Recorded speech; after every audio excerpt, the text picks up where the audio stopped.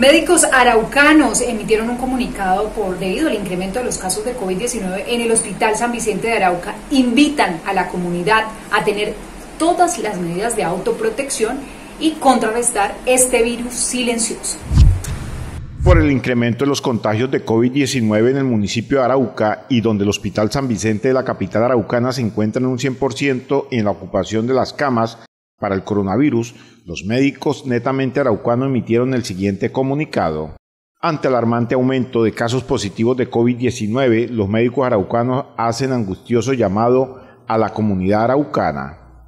Apreciada comunidad llanera, nosotros médicos araucanos, pertenecientes al grupo de médicos que laboran en la institución prestadora del servicio de salud del municipio de Arauca, nos permitimos muy respetuosamente manifestar lo siguiente.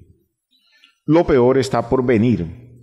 En el servicio de urgencia del Hospital San Vicente de Arauca se ha venido presentando las consultas de manera progresiva y en aumento del paciente con sintomatología complicada por COVID-19 la misma ha hecho que en el momento no se cuente con cubículos ya disponibles para manejo de cuidado crítico de estos pacientes.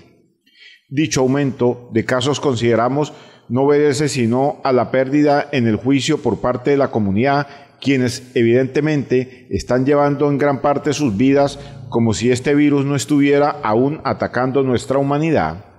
Vemos con preocupación el abarrotamiento de establecimientos públicos y personas deambulando por nuestras calles sin siquiera con un tapabocas, entre otras faltan a las medidas indicadas del aislamiento. Las redes sociales nos mostraron cómo en países mucho más desarrollados los sistemas de salud colapsaron, teniendo que escoger basado en probabilidad de vida y comorbilidades, entre otros, quien debía tener acceso a un respirador artificial y quién no. En nuestro municipio, los cubículos y ventiladores disponibles son muy poco, tanto así que ya los existentes están ocupados.